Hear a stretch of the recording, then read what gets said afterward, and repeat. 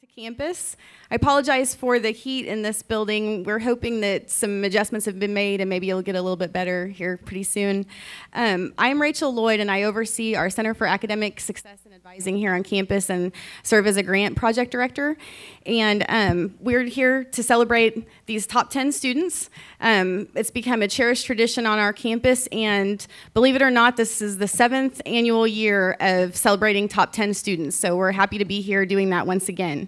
Um, I would like to also acknowledge the, the family and friends of these students that we have in the audience who have supported them along the way, and our administration, faculty, and staff um, who also have challenged them and inspired them. Um, our selection committee this year um, consisted of Donna Hale, Cheryl Butler, and Lisa Bell. So we appreciate their time and thoughtfulness in, in helping to select these students. And we also are grateful for the support of our president's partners uh, for the program and any former top 10 students that we might have in the audience. I think we have at least a few. Um, okay, to introduce our theme this year, we have a brief video for you to watch.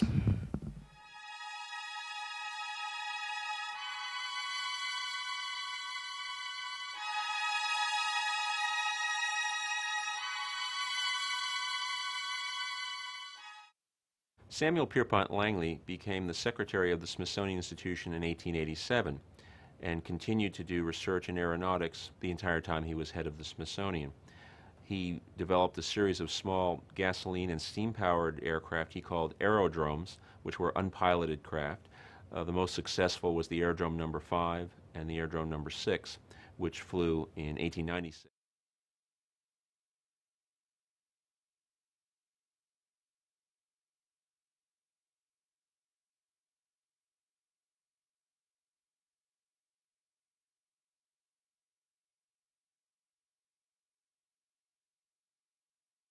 Langley developed a large catapult launching system on the top of a houseboat. On October 7th, at Widewater, Virginia, he made his first attempt with this catapult launching of the airplane, and it crashed miserably. A Washington Post reporter uh, quipped that it looked like a handful of mortar falling into the Potomac. On December 8, 1903, the airplane had been repaired, and this time uh, closer to Washington, D.C., on the Potomac River, the aircraft was put on top of the houseboat again, and another attempt was made. And again, the airplane just simply collapsed upon itself upon launching, and the airplane was never attempted to fly again.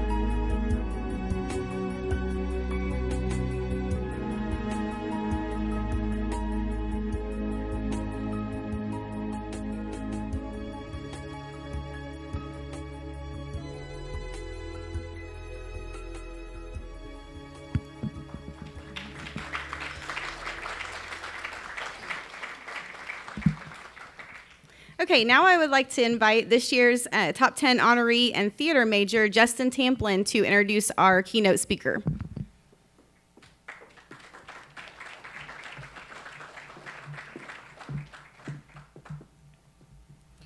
Cassie Fugate Kate is from Miami, Oklahoma, and attended NEO from 2008 to 2010.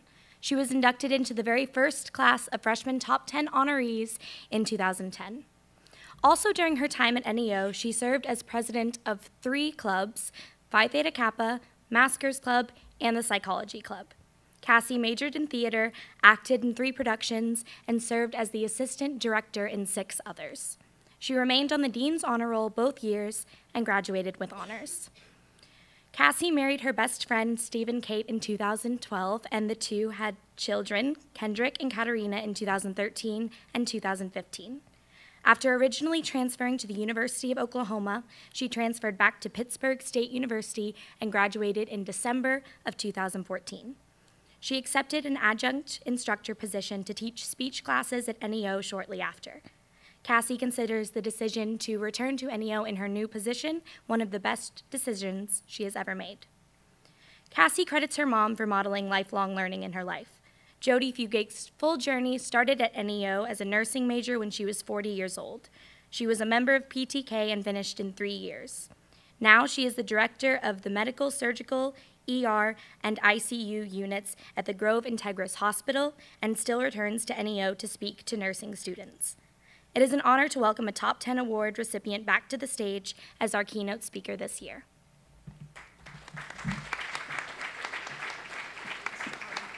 Thank you, Justice. And real quickly, I would like to thank Rachel and Mr. McCurley and Mary Susan for putting this all together. So a round of applause for them.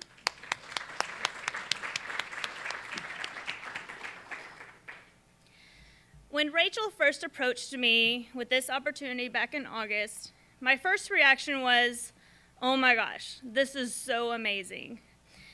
And then my second thought was, oh boy, now I'm going to have to practice what I preach to my students every day. So I'll do my best.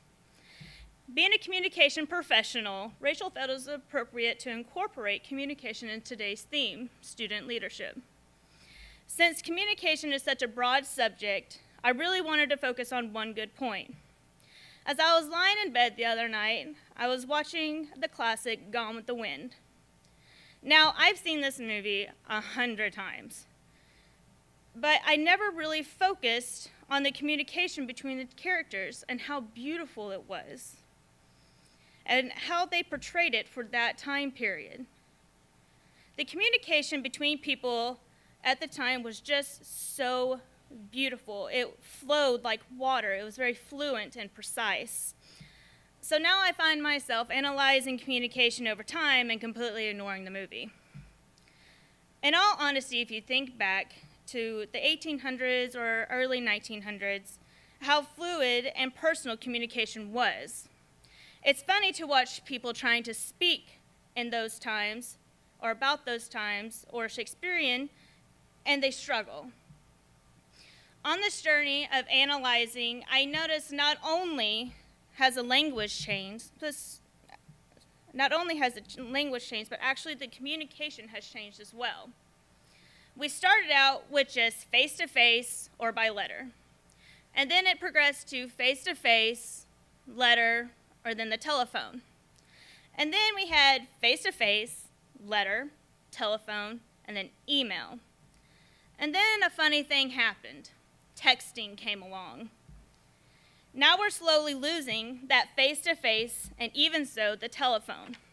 We all have that one person, or maybe you are that person, that we can call, but you don't answer. But if I text you, you'll text me right back. In a short amount of time, it happened. Face to face and even talking to someone on the phone became obsolete. Why? Social media. Facebook, Twitter, Snapchat, all these things, you guys know what I'm talking about, be, left the original communication art completely in the dust. If I did a show of hands right now, about 90% of the room would say they had a social network. As I'm noticing this, another aspect dawns on me. not only is the art of communication changing, but also the words. We have gone from word to word to abbreviated words to pulling letters from different words like LOL or OMG or BRB, whatever it is nowadays, to just making up words. Rachel sent me a link to a YouTube video that Anne Curzan, an English professional, explains on TED Channel that how much she enjoys reading these new words. She goes on to give examples like hangry, hungry and angry put together. I don't know about you, but I've been pretty hangry myself. And then she terms the word adorkable, being adorable in a dorky way. And then my own personal favorite that wasn't on there would be Totes Adorbs, which I pulled from the show Playing House on USA. My family loves it and to hate it at the same time. And I can't help but laugh at this because I explained to Rachel that my family and I do this all the time. For example, we're trying to decide something for dinner, and I'll say, okay, spaghetti or tacos, and my husband will quickly come back with spaghettos. And my, of course, my son laughs because it sounds ridiculous. But this little game that we play has helped me coin the terms for this speech. The topics of scholarship and leadership are very broad. To me, you honestly, you can't have one without the other. So let's break it down. And these are my terms, not Webster's. Scholar, to have knowledge or be knowledgeable. Leader, the easiest way to describe a leader is the phoenix rising from the ashes, going above and beyond when no one else would. When you put these two together, you get scholiter, or it was funnier to my son saying it, scaleater.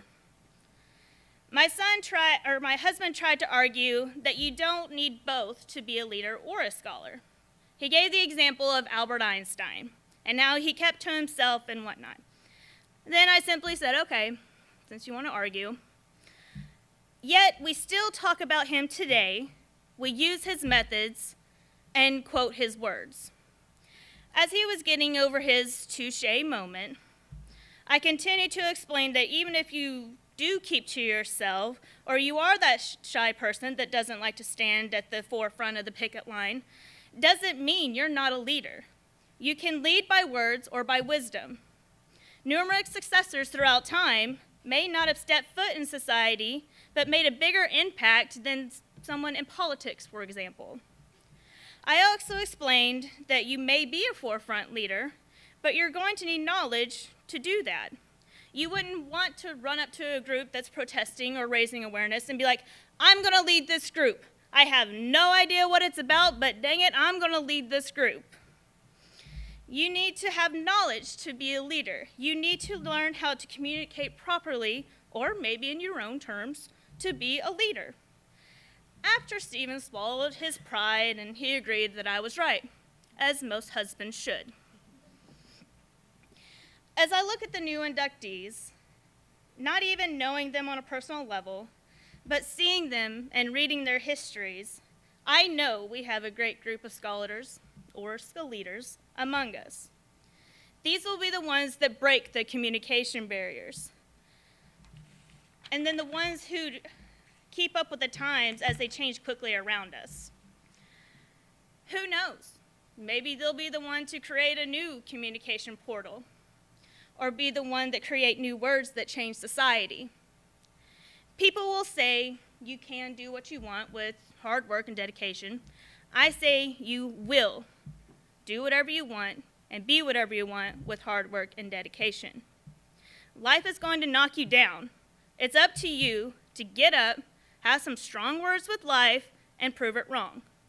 The only thing that can hold you down is you. You are the generation of change. So go out and change it. Thank you.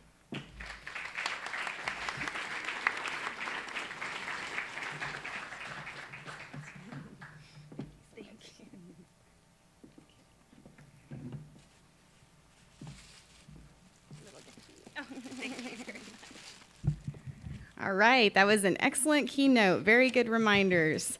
Um, now we will move forward with awarding this year's honorees. So if um, President Dr. Hale and Mary Susan Whaley, our music instructor and um, faculty senate officer, could make their way to the stage, we will go ahead and award each of these new inductees.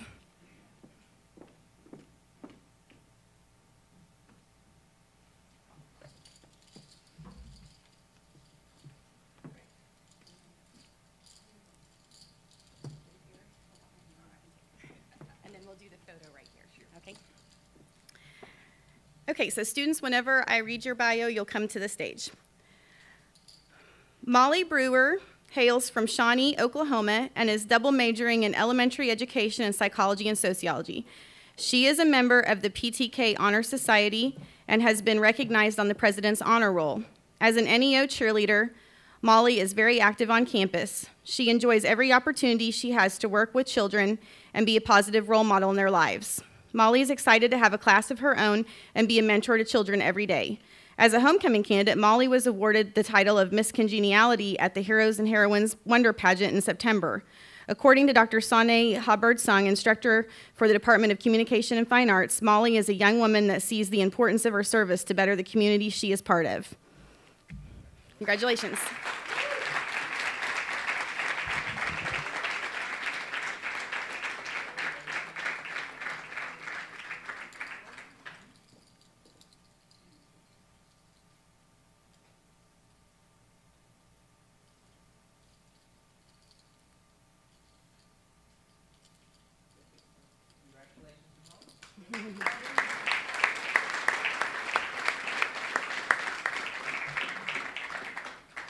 Annika Carr is an agriculture business major from Fairmount, Georgia. Annika is a member of the PTK Honor Society and received the NEO Foundation Scholarship. As a member of the NEO Livestock Judging Team and an agriculture ambassador, Annika has volunteered to help with many different activities, including the Aggie Days, speech competitions on campus, banquets, and improving the facilities at NEO's Sinar Farm. Annika believes being a leader and a positive role model go together hand in hand, and she strives to portray qualities of both. Agriculture Department Interim Chairperson Mackenzie Nygren relayed in her recommendation letter that aside from her academic ability and commitment, Annika serves as an agricultural ambassador and an overall leader among her peers. Congratulations. Mm-hmm.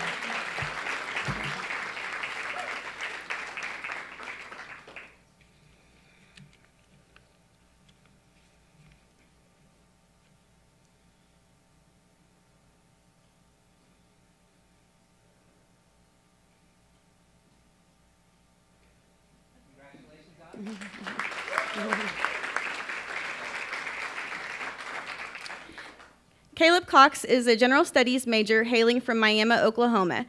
He is a member of the PTK Honor Society, Phi Beta Lambda, Lambda Business Club, and the Native American Student Association. Caleb has been recognized for his dedication to NEO by being asked to serve on the Student Success Goal Team as a student representative and was recently crowned the 2015 Homecoming King. He is actively involved with his Native American tribe, the Cherokee Nation, and was selected to participate in the Remember the Removal bicycle journey along the Trail of Tears this summer. Caleb has volunteered for many local charities and organizations. Um, according to my letter, as a first generation college student, he is an exceptional scholar and eager, eagerly embraces every opportunity to learn. Congratulations.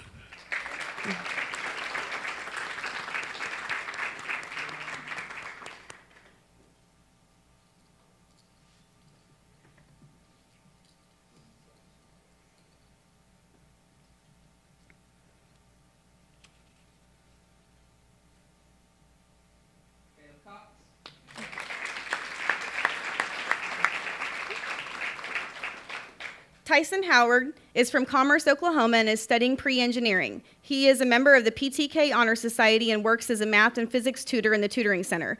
Tyson has served as a co head coach for a local youth um, basketball team and has also helped with a local football league. He has supported his classmates by facilitating study groups for students who are struggling in the course. Tyson has also helped students by supporting them as they assimilate to the culture of the college environment. NEO psychology instructor Lori Kurtz relayed in her recommendation letter that Tyson is an outstanding leader and sets the example for others to the same level in which he lives his life. Congratulations.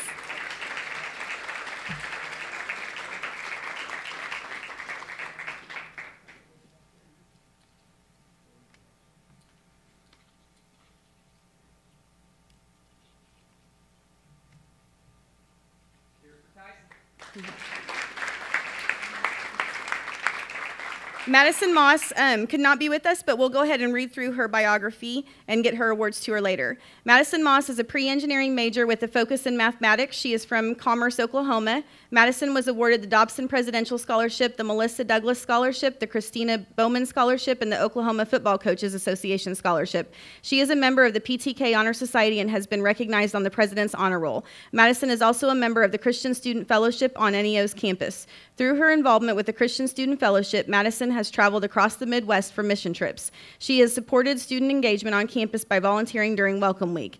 In his recommendation letter, math instructor Steve Dixon wrote, Because of her determination and leadership skills, I certainly believe she has what it takes to be a successful student and will continue through school to achieve her goals as a STEM graduate. So let's give Madison a hand. Okay, next up, Dylan Price hails from Norris City, City, Illinois, and is majoring in natural science. He is a member of NEO's horse judging and equestrian teams, the Equine Club, the Phi Beta Lambda Club. Dylan is a natural leader who promotes sportsmanship, respect, and humility among his teammates. He has numerous accomplishments competing in the horse judging arena at a national level. His active involvement in ca- campus organizations has given him the opportunity to use his leadership skills at judging clinics and reining contests. Dylan's number one priority is his grades, and he has maintained exceptional academic standing during his time at NEO.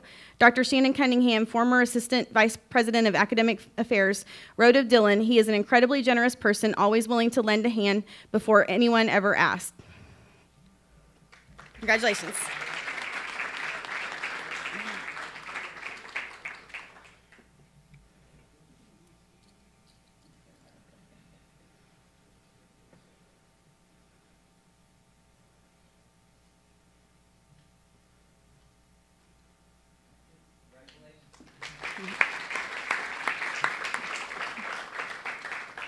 Johanna Richardson is an agriculture business major from Gerald, Missouri. She has served as vice president of Catholics in Action and is a member of the equestrian team, the equine judging team, the equine club, Aggie Society, and the PTK Honors Society. Johanna has devoted many hours volunteering with Horses of Hope and to maintaining the facilities at NEO's Sinar Farm during farm work days. She has served younger individuals at many events that have been held on NEO's campus, including a horsemanship clinic, judging clinics, and hosting local FFA students. Agriculture instructor and equine judging coach Amanda Burrows wrote on Johanna's behalf, she maintains high moral values and often is a role model to others based on her ability to stand for her beliefs and maintain a delightful attitude. Congratulations.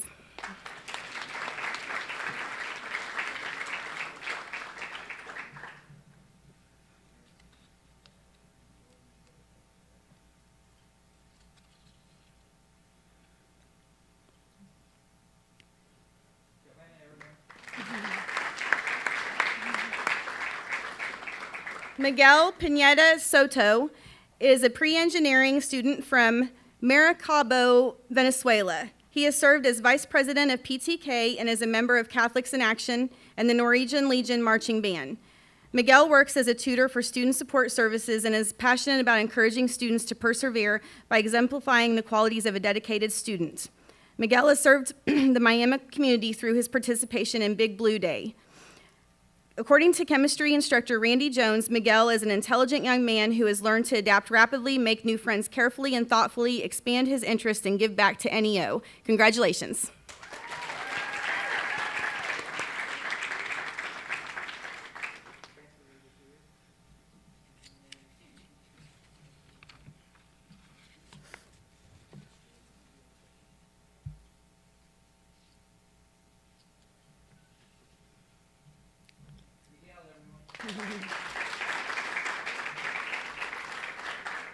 Justice Tamplin is a speech and theater major from Frisco, Texas. She serves as the vice president of the PTK Honor Society and is an active member of NEO's Fine Arts program and the Maskers Club. Justice was awarded Miss Norse Spirit during Homecoming 2014 and was recently crowned NEO's 2015 Homecoming Queen. Justice promotes NEO to future Norsemen by giving campus tours. She has participated in PTK's service projects and spearheaded a partnership with the animal shelter.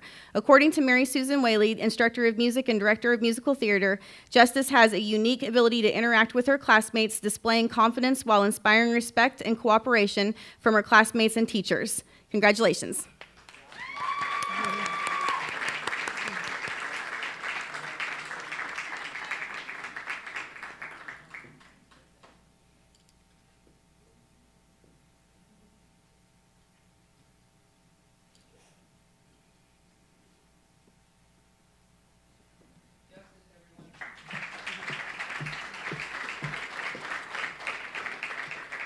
Daniel Fontaine hails from Wetzlar, Germany, and is a general studies major. He is a recipient of the Dobson Presidential Scholarship and the NEO Foundation Scholarship. Daniel is a member of the NEO men's soccer team, PTK Honor Society, and has been recognized on the President's Honor Roll. He works as a math tutor in the Tutoring Center and has worked with other international students to help them improve their English. Through his resilient spirit, hard work, and dedication, Daniel has overcome adversity and now serves other students who have shared his experience. Daniel has also served the Quapaw community in 2014 by helping the tornado victims clean up after the devastation. In his recommendation letter, Jeff Aldridge, math instructor, wrote Daniel was as gifted, respectful, helpful, and insightful as any student I've ever had. Congratulations.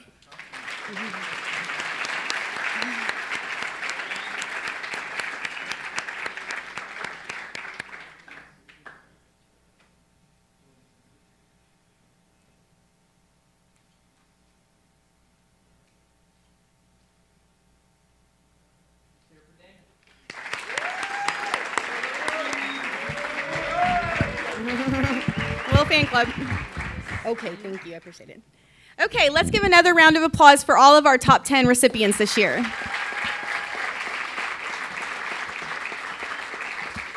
Congratulations to you all. Um, now I would like to invite everyone to stick around for a reception outside in the lobby and foyer area. But I would like for the top 10 uh, honorees and any president's partners we have in attendance to come on up and have a, a group picture up on stage.